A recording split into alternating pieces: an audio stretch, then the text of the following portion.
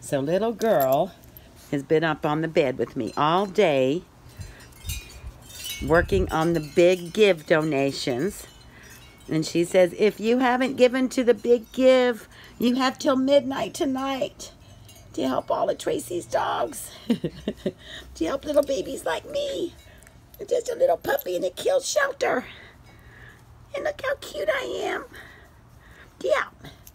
I was just in that kill shelter. Nobody wanted me, and they took me there, and I was scared. I was very scared. Sending love and hugs, everybody. If you find it in your heart to donate, no amount is too small.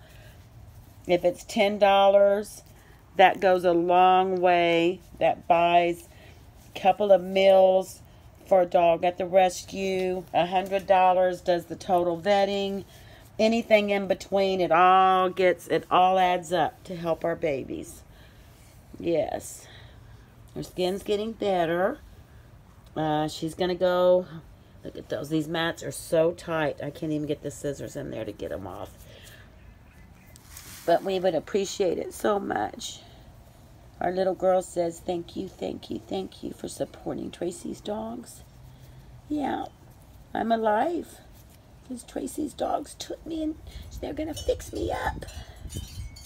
That's a precious face. Sending love and hugs, everybody.